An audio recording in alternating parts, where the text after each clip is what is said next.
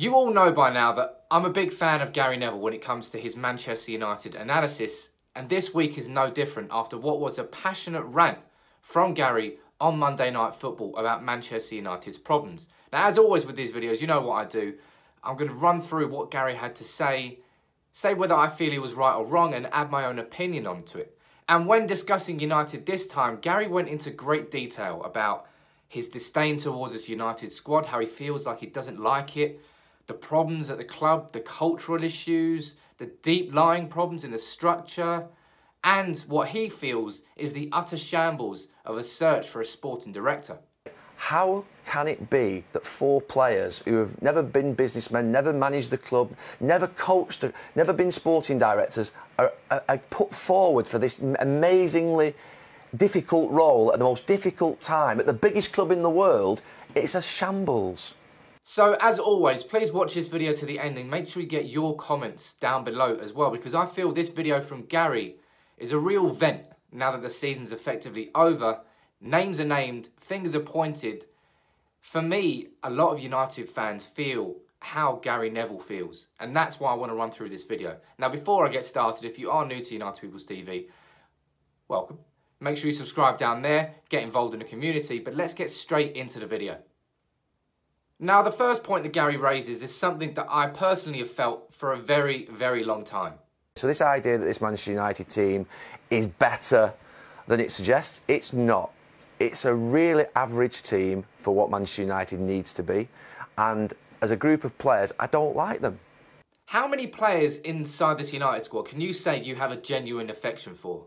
You know, the likes of Rashford, Lingard and McTominay because they're academy players I've always got a natural affection towards those. But maybe De Gea, Shaw, Lindelof, there are only a, I would say only a handful of players inside that squad that I feel want to play for United. And question marks are being said about De Gea now.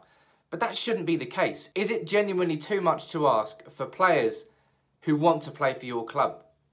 Maybe it is in the modern day, and maybe this is something we need to get used to, but I don't think it is.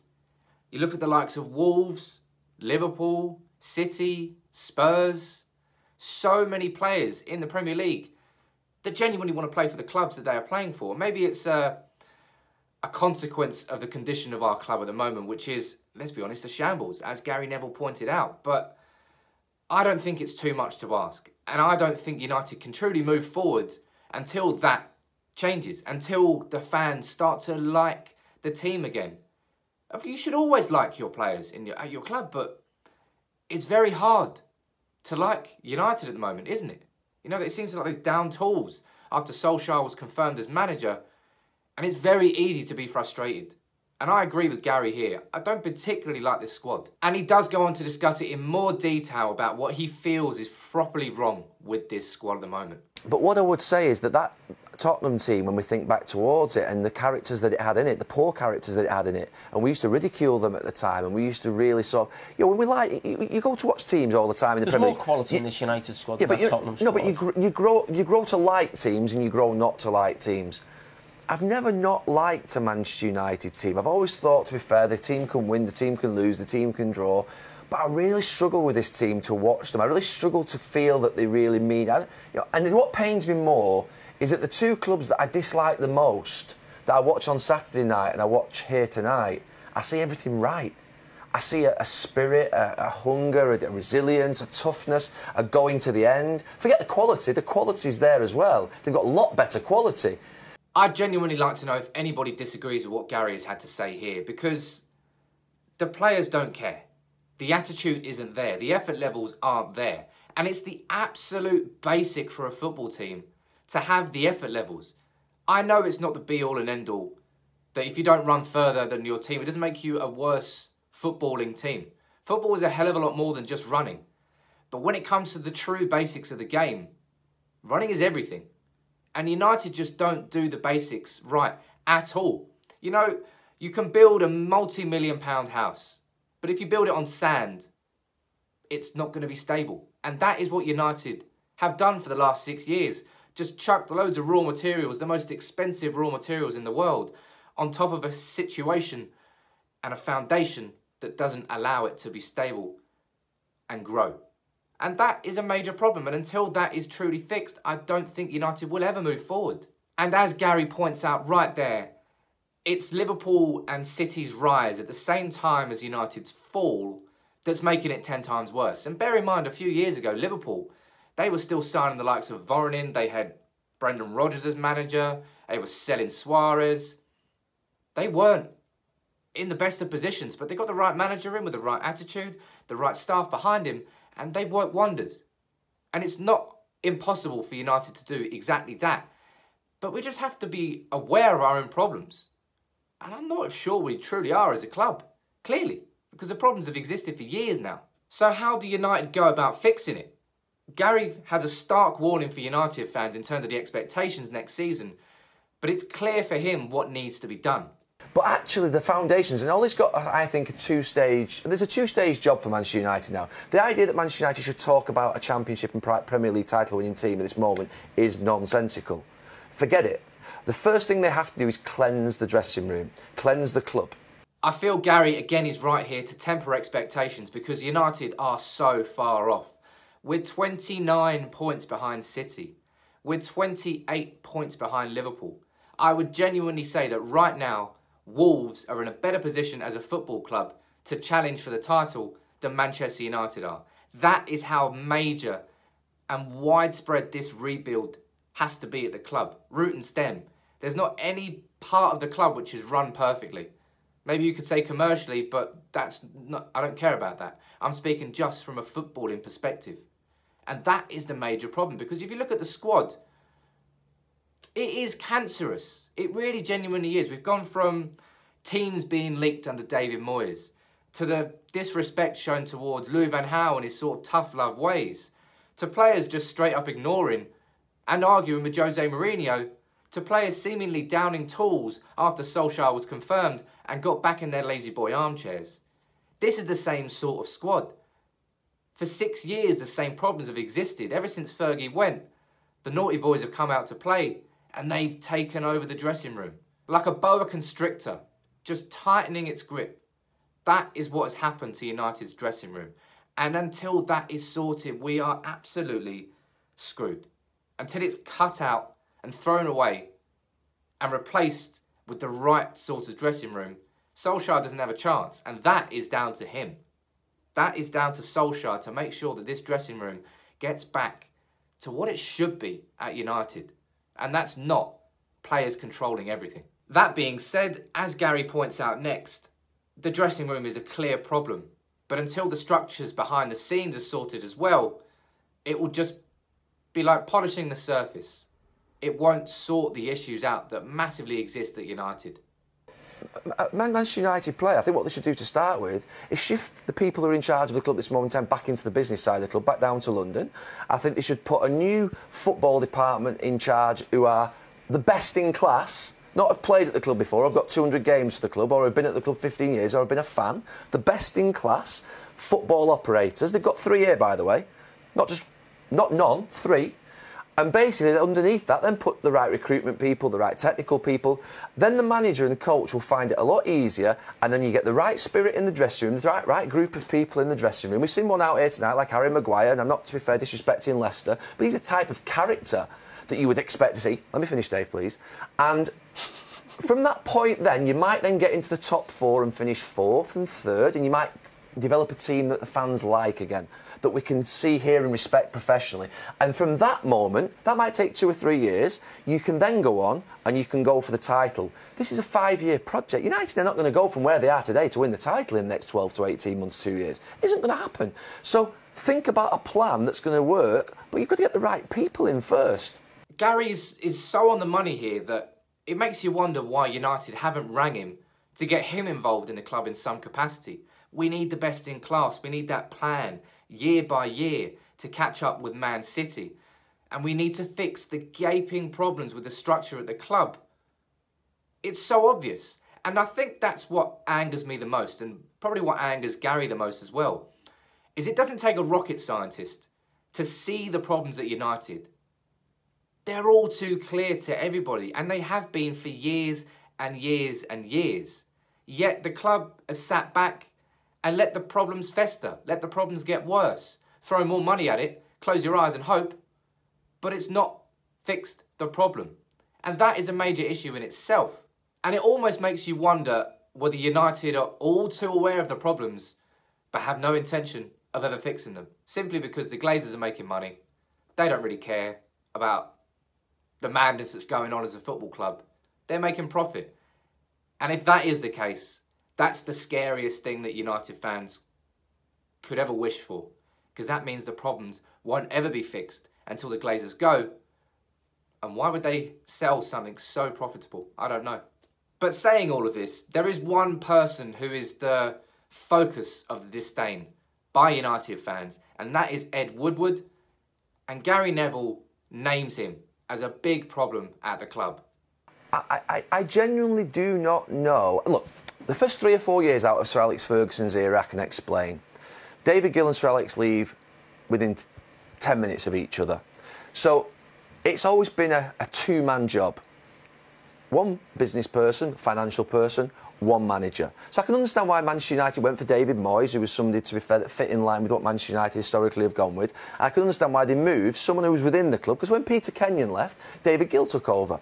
So that's that's fine. Ed Woodward comes in, but Ed Woodward's had seven years now at this, seven years. So I think he's had his chance personally. I think he's had his chance at running the football side of the club. No problem with keeping him in the club at the, the business side things. The the revenues, the operating profit I would imagine, are pleasing the Glazer family enormously. So that's fine, but he's had his chance in running the football side of the club. So now you have to think about, right, OK, that two person structure's not worked for the first three, four years.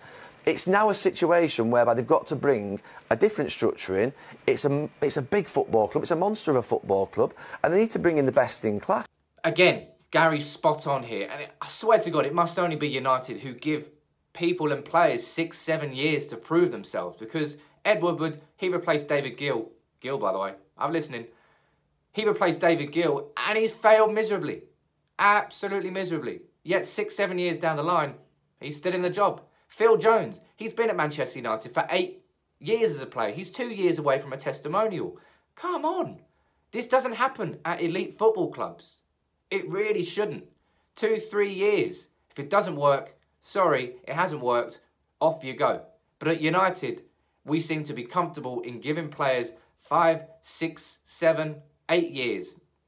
Managers, give David Moyes a six year contract. Why not? Just the decisions and the decision making process at United is truly baffling.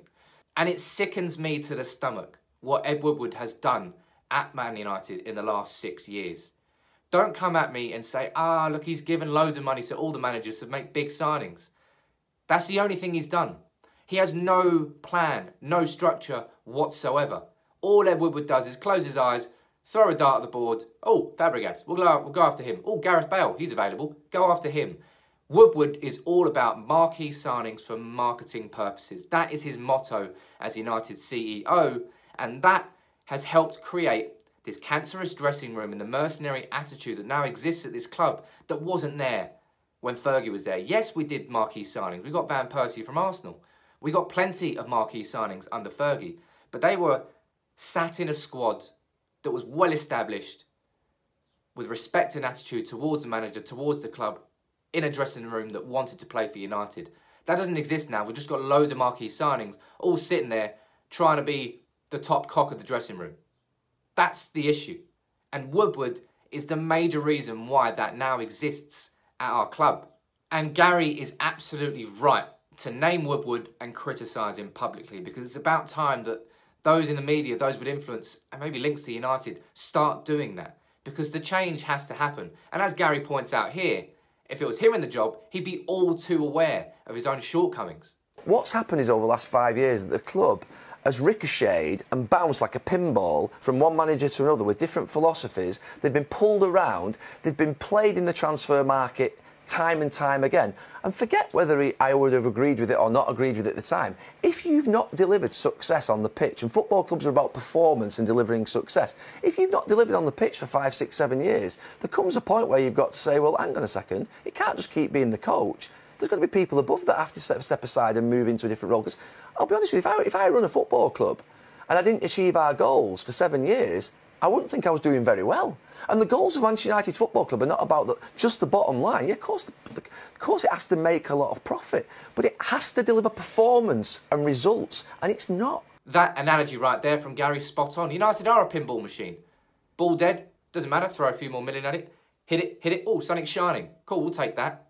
Ball dead, throw more money at it. Repeat, rinse, and repeat. And that has helped create the problem at United.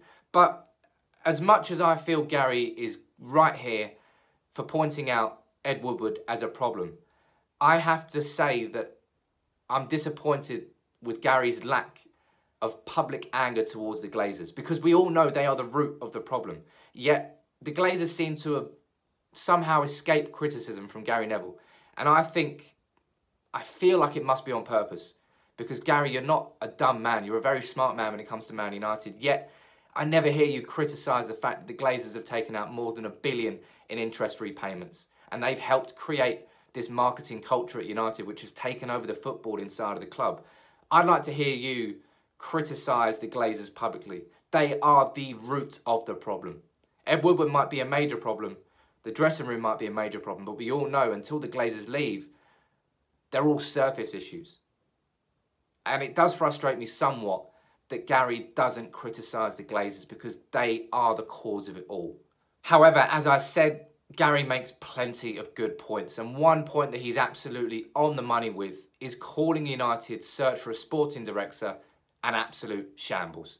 No, but Dave, the shambles of last week. It, this is where I'm going, by the way. It's where I'm going now. I've gone. I don't. It takes a lot for me to criticise my own. Ten club, seconds. Right. How can it be that four players who have never been businessmen, never managed the club, never coached, never been sporting directors, are, are, are put forward for this amazingly difficult role at the most difficult time at the biggest club in the world? It's a shambles. Do United genuinely feel that an old boys club can be the solution to our problems right now. With Ole at the wheel, Rio Ferdinand sitting in his, as his co-driver, Darren Fletcher and Mike Phelan in the back looking at the map. Do they feel that is going to replicate what City have done? But City didn't do that. City went and brought in all of Barcelona's technical and sporting staff. Those people who were there through their greatest time. When they had Guardiola as manager, they had Messi, Iniesta, Xavi, Busquets. Yes, they had the squad, but they had the infrastructure behind it. And now they've got the manager and all of Barcelona's technical sporting directors with him. They're the conditions that allow success. Do you really feel that Solskjaer is going to be supported by simply ex-players? No. We need experience. Gary is right here, the best in class. We went for the romance in Solskjaer, and I'm all aboard that. Yes, it's been a terrible end to the season, but I'm looking forward to seeing what happens next year under Solskjaer. But we can't do ex-players throughout the whole club. Are you mad? We don't have the infrastructure. We need to create it first. That's why experience is so essential in this situation. And I think it would be an utter madness for United to go anywhere but experience when it comes to this role. And that is why I agree with Gary when he says it's been a shambles so far. Now, to finish, Gary was asked about what his expectations and hopes were for the next season. What's the best you think that you could hope for for Manchester United next season? Have 11 players out on that pitch who want to play for the club. That's a starting point. Who want to be there, who run till the last minute of every single match. That is a starting point. Off the pitch, you can't control. That's always a starting point of every team. They've got a coaching group there, to be fair, who love the club, who will die for the club. I know that for a fact. People might say, oh, they're not this or they're not that. But what they will, they'll, they'll bleed the club, you know, if you cut them open. So my view is get a group of players in that dressing room who are aligned and want to do the very best for Manchester United, who see Manchester United as a great football club. There are definitely five or six people in that dressing room that look to me at the moment like they don't want to be there always. I feel it's truly sad that Gary is right here in that the best that United can hope for there is simply getting 11 players who want to play for United. And for me, that's why I've got so much time for Scott McTominay. If you haven't seen this video, this is McTominay after the one-all draw against Huddersfield. Do you see who's sitting on the bench there? Mm. Oh, yeah, yeah. yeah. Scott McTominay yeah. is, is over there on the bench, and he looks smashed. Yeah. He yeah. looks like he's really upset, and he's sitting here by himself And I don't know what to read into this. Maybe he's just tired, maybe he's physically tired, etc. But it looks like today's draw, which feels like a loss, has hurt him. McTominay is hurting like us fans were after that draw. Yes, he's not the best footballer in the world. Yes, there are better players that we can put in that position. But my God, he's got the attitude that doesn't exist in 90% of that dressing room. And I thought Mourinho was mad at the time for highlighting and praising McTominay so much, but maybe he was right. We need more players in that dressing room that have the attitude and spirit that McTominay has. Look, I know he's not going to be a star like Pogba, but the stars like Pogba and Di Maria and Falcao, have they really helped United recover since Fergie retired? Or have they helped create the mess that we now find ourselves in? It's the latter. And that is why I am so much in the Scott McTominay fan club and think that we need more players like him, and Solskjaer will know that as well, for us to move forward next season. Because there are so many mercenaries in that dressing room that need to go, and that is another reason why I am happy that Solskjaer is our manager, because he will rid that dressing room of the wrong attitude. My fear is that you can't do it in one season because there's so much of it. But unlike Mourinho, unlike Van Gaal, unlike Moyes, Solskjaer will do it in the right way. And everyone's going to be like, oh, what's the right, what's the United way? You can't quantify it. But Solskjaer, and it's not just a case of looking back at what happened when he was a player for 12 years and just trying to replicate that. But he's seen what's right and what's wrong. And his measure is better than any previous manager that we've had since Fergie. And that is why I would trust Solskjaer more than anybody to rid this dressing room of the wrong players and bring in the right players. But as I said, I do fear how long it's going to take United on and off the pitch, in and out of the dressing room, to catch up with the elite of Europe, to catch up with Liverpool and City, and to truly compete again. We are some way off that. I've had a lot of time for what Gary Neville has had to say about United this season. I think more than most pundits, he really truly speaks from the heart, speaks from an analytical point of view, and he's very fair in what he says. And it's good to hear him calling out Ed Woodward for the terrible job that he has done over the last six, seven years. As I did say there, I'm disappointed that he's not calling out the Glazers because they are the cause of the problem, Gary, and they should be getting named publicly. But I want to hear from you now in the comments. What did you think of what Gary had to say on Monday Night Football about United's problems? Do you like the squad? Do you like Solskjaer? Do you think he is the right man to get rid of this dressing room problem? And how do United properly reset this summer? And what are your expectations for next year? Is Gary wrong in saying that don't even think about a title chase? You think United have the ability to do that this summer? I want to know what you think in the comments, as always. If you are still here and you are new to the channel, make sure you hit that subscribe button and get involved. Until next time, take it easy.